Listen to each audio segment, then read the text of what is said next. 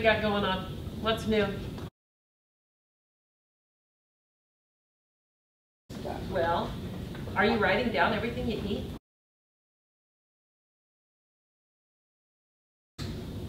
I don't want you doing it on my fitness thing. I want it in paper and pen. It's so easy to go, you know, it's so easy to just push the button and have no clue. You know, no, you don't really own it. When you have to get that stupid little pen out and you have to write it on that stupid little piece of paper, you own it. Okay. By this way, you're just pushing a button.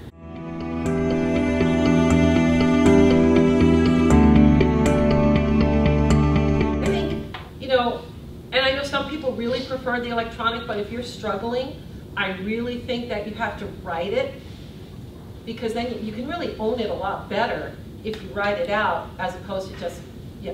Because a lot of that stuff is already stored in your phone, you know, and it's just, okay, I had this, I had this. But when you have to think about putting it out there and you see, and then I always tell people, if they want, do it for a week and then call me and let's visit it and see what you're doing. Do you do the same thing every day? Do you eat the same thing every day? The, the funny thing is, is that we always have been taught we have to cut our calories, we have to cut our calories, but you still have to get enough calories in. Okay. When you, when you do it, I really think it's important, say for breakfast, I'll give you an example what, like my breakfast is, is this. It's probably a lot compared to what a lot of you guys eat, but I, I need it to counter out what I burn. So breakfast, it's usually one egg, two whites, and I put spinach, peppers, and onions, and I do a half a cup of either oatmeal or cream of wheat. That's my breakfast. And it- is. And then two and a half hours later, three hours later, I have a protein drink. And then two and a half, three hours after that, I have lunch, which consists of a fair amount of protein, four to five ounces. It consists of a half a cup of brown rice, and it consists of a cup of vegetables. Okay? But I, because the way I exercise, I, what I have been told by my trainer is that I burn hot. Because, you know, you, you ramp that metabolism up, okay? And then two to three hours after I have my lunch, I have another protein drink. And then I have dinner, which is a protein source and a vegetable, and that's, I'm done. And I'm done. So, I mean, I probably get close, probably close to 2,000 calories. But I'm burning it. I'm, I'm way beyond calorie-wise expenditure versus what I'm taking in, you know. Um, but it, it's really important that you write that you had that egg or two eggs, scrambled, boiled, whatever. You put so, so you learn you learn your calories, but you learn your grams of protein with it. And that's if you went to Dr. Yadegar, he would tell you he wants you to count cal count your calories too, because you know your calorie goal is 1,200 to 1,400 calories. Do you know what your calorie goal is? What do you know what kind of calories you're getting?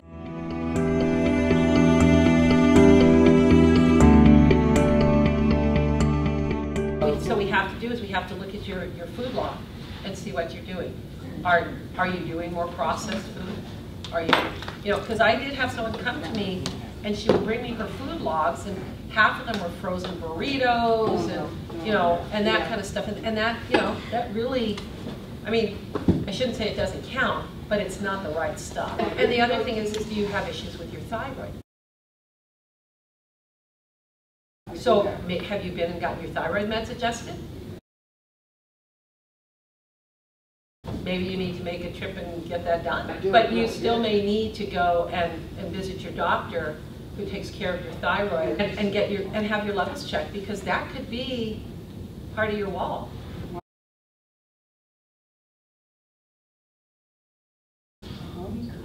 And we need to look at what you're doing.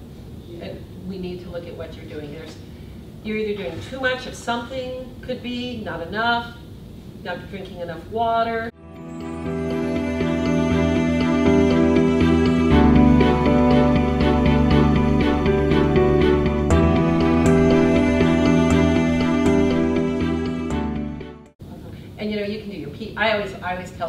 What? I always kind of, kind of gauge my pee, how it looks. Is it, is it Is it- fairly clear? Is it too- dark? Yeah, is it too? What else is cooking?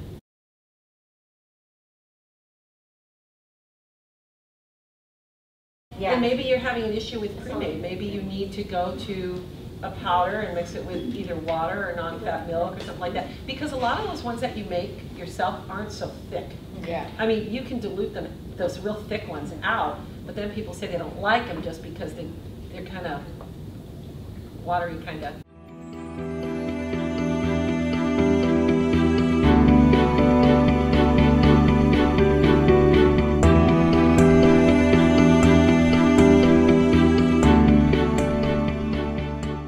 You're getting, you're putting too much thickness together because the milk and then with that thick protein, and you're just putting too much into your body. You're probably getting, honestly, you're probably getting a little too much fat. You know, you're getting crampy, gassy.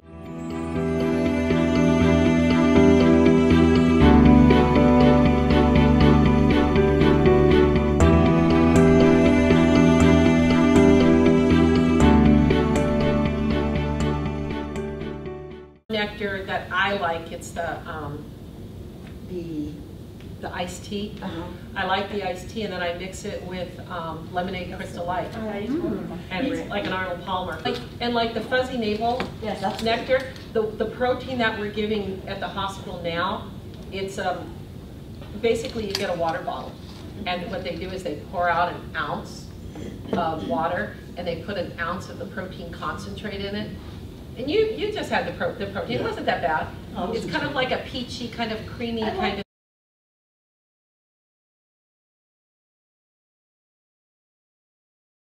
But what do I tell you guys? You know what, the calorie goal is 1,200 to 1,400 calories. And I tell you, you're not gonna hit it at a month. You more than likely won't even hit 1,200 at about two months. And so that's, you know, that's kind of, you know, important not to worry yourself to death that, oh my gosh, I'm not gonna get my calories in. That's why we have you doing the protein, the eight, you know, your 80 to 100 grams of protein, or your 60 to 80 grams of protein if you're diabetic, right? So you're a week, you're not even to the point, I think it's Sunday that you move forward with soft textured food. And remember, you're gonna set that clock as a half an hour for your meal, okay? So when you start, everybody, how many people started with an egg after their, when they first started with an egg? And it was, the- to me, it was the best tasting egg I ever tasted. But the bottom line is, is that you give yourself a half an hour to eat. If at the end of that half hour, three quarters of the egg is still sitting there, you're done. And done. that's cold.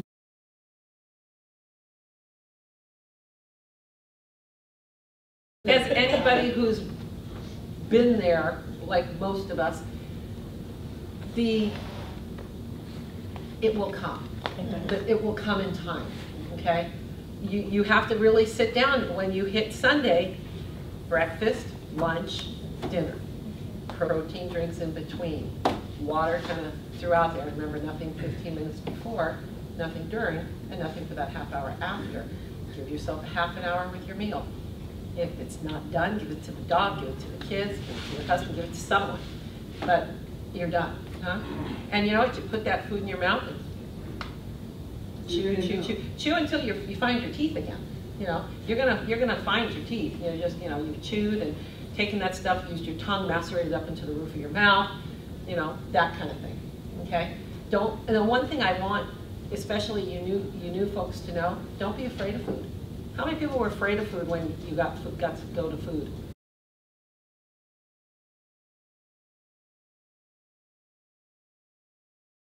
I don't know, well, I'm so far out.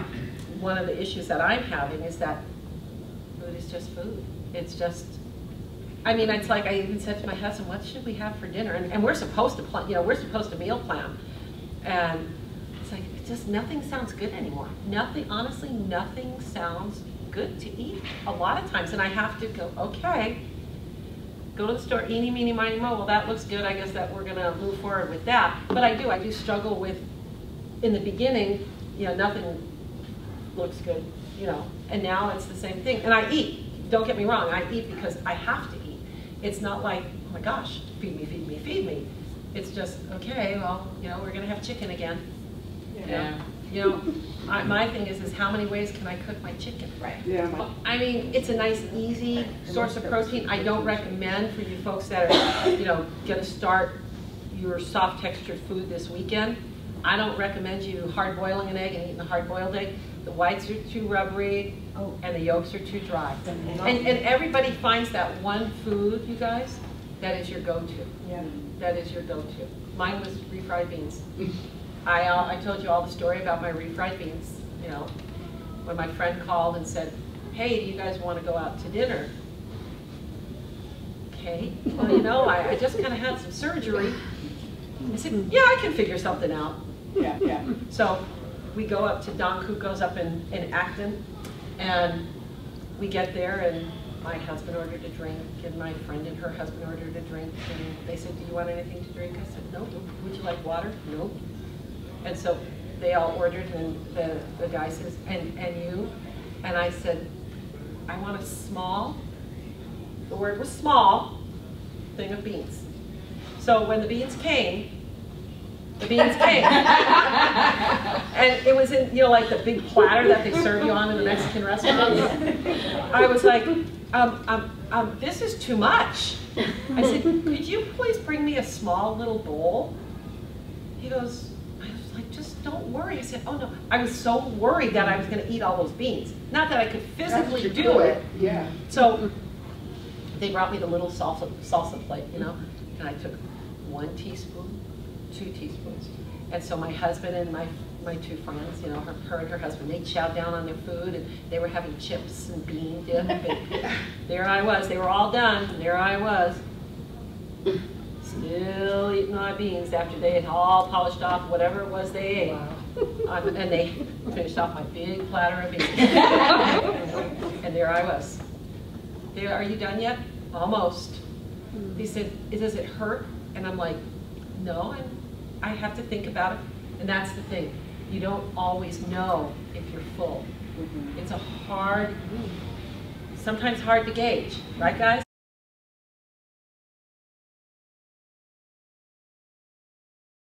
And, and what do I tell you guys? If you think you're full, you're full. Do not, and you, and you know what, and I sit and I've probably told every single one of you guys, if you think you're full, you're full. Don't take that one last bite, because what does that one last bite do to you? It puts you right over. Makes you-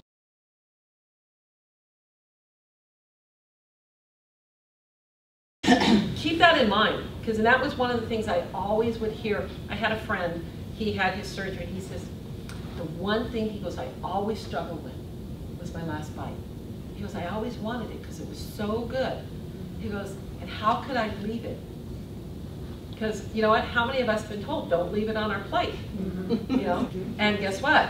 Don't, er, leave it. Leave it on your plate. If you Yeah. leave it on your plate, you know, it's like, I, I was probably 30 years old when I realized, maybe it was after my surgery, 46 years old, when I realized that my mother wasn't going to come and scrape up my plate and send, you know, because she says, you know, there are poor kids in China mm-hmm. starving, wanting to want to eat. And, you know, she wasn't going to take it and put it in the mail to them. You know, it was like I had that light that came on that says, my gosh, mom's been lying my whole life. You know, they never sent it anywhere, you know. And no, I'm not going to have to eat it for breakfast, you know, that kind of thing. So, you know, remember, it's okay to throw your food away. Damage it. You're so right. Damage it, Yeah. especially if you go out. I have Oh, to yeah, damage I've it. had- Yeah. mean? So, especially if we go out, it's not gonna be something I'm gonna bring home because Right. we're going Oh. somewhere else. I, I take the whole pepper Oh, shaker okay, got it. right on top. Mm. And the first time I did that, I says, what the heck are you doing? I said, I'm messing it up so I don't eat it, and so you don't eat it. Mm. How many people's spouses Oh, heck Oh, yeah. yeah, get into your food, oh, yeah. you know? You can't tell me that they don't, because I, I've seen some patients after their, their spouses start putting on, you know, it's kind of like the mom who eats, you know, the mom who eats what's left over on their kids' plates, you know? So,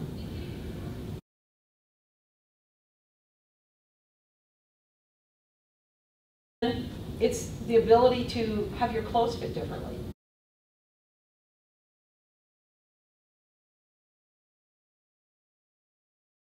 I have, I have a book, I have a book. When I ran marathons, I, I had a book that I actually, um, the, the thought process with this guy, it was um, Jeff Galloway, and he has a whole method of running marathons. when you, you run, he does a one, even when he ran, he did a run-walk ratio. Mhm. And you would go run three miles, and they actually, I, I got the book, and I even have it on- downloaded on my Kindle. So he would go out and run like three miles, and they would figure out the time it took him to run the three miles, and then they broke it down into what your, your um, run-walk ratio would be. It really saves you. It really, really saves you. I remember when I ran, the last time I ran the LA Marathon, believe it or not, I did a one-one ratio. I ran for a minute, I walked for a minute, and I finished that marathon. The fastest time I finished it in just over like five, five and a quarter hours. First time I did it, I finished in over eight hours. Oh, wow. Yeah, so, I mean, just changing what I did, you know, it really made a difference, you know. And he has a schedule in the book and everything, so that'll be good once you get to get that point and get that done and work for LA for 2017. You're there. Anybody else have anything exciting coming up, anything cooking?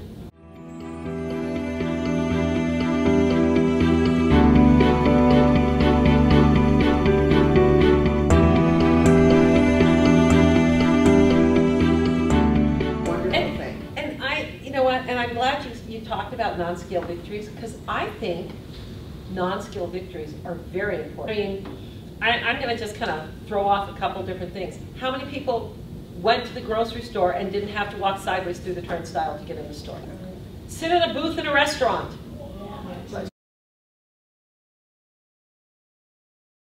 Yeah, And my friend and I were going to Hawaii to run the Honolulu Marathon. And were sitting on the plane, and she'd had surgery too, and we're sitting there, and she goes, oh my God, I fit. I said, so do I.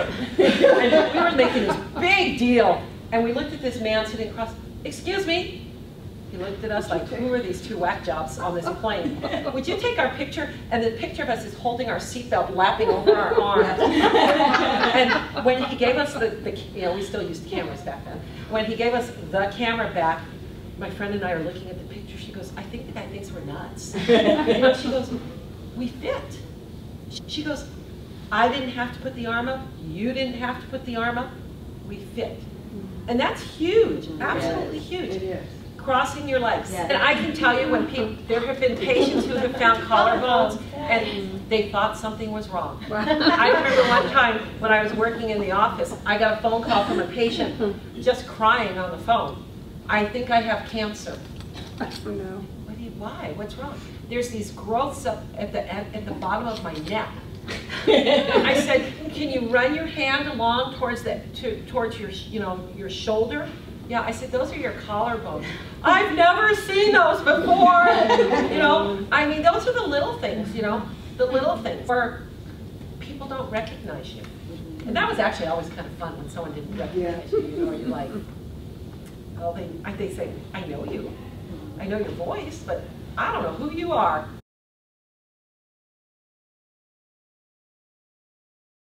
I mean, I think sometimes the non-scale victories are just as important as what the number, and sometimes I think Yeah, more important absolutely. than what the number shows on the scale. And that's when, when you get ready to do your surgery, your plastics, that's why I think it's important that you take, we continue to take those pictures. Because, you know what? Before is definitely a lot different than after. There, he's not here. There was a guy who came to his, um, his post-op visit, and um, he goes, I mean, he lost like in two weeks, he lost like 35 pounds. And he goes, I just don't see it. I said, did you take a picture of yourself before surgery? He goes, yeah. So give me your phone. I said, sit how you were sitting. And so he just sat. And so I took the, I took, I took the phone and I showed him. And then we moved to the next picture. He goes, I do look different. It was my face, you know? Mm-hmm. You know what, what you see in the mirror may completely lie to you. But you know what? What the picture What- yeah. shows is not the truth, is, is the truth.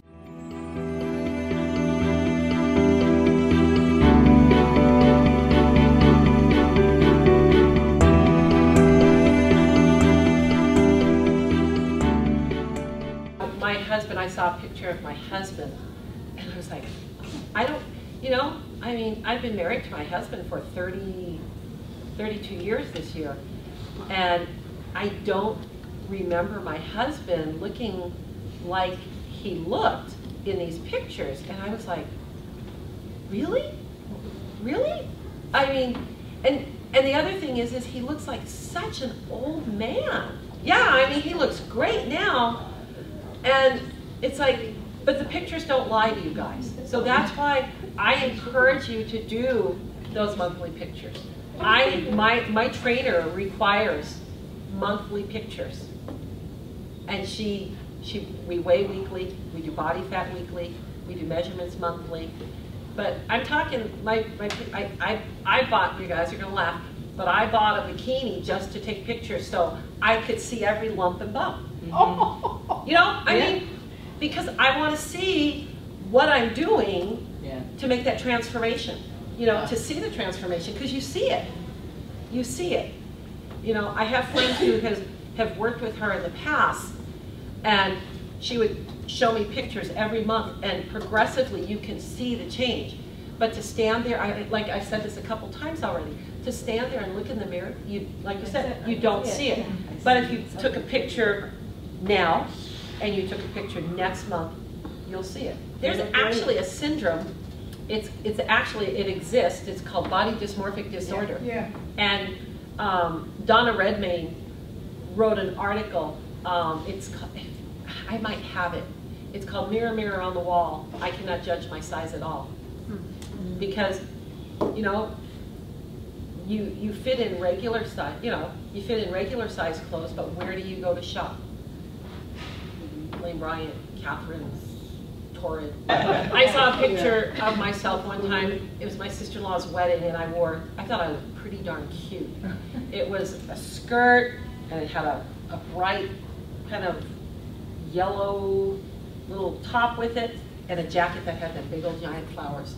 And I saw this picture, and I slapped my husband on the arm, I said, why did you let me out of the house like that? He goes, I thought you looked pretty nice. I said, well, then you're a fashion challenge designer. Yeah.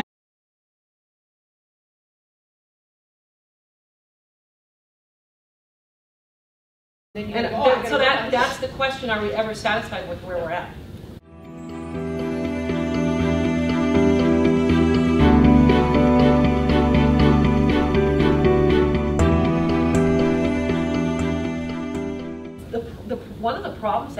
Happen with the bypass, you know, you go out to dinner, you order it the way you want it, you eat it, and it might not have been cooked the way you want it. And then you find yourself in a world of hurt.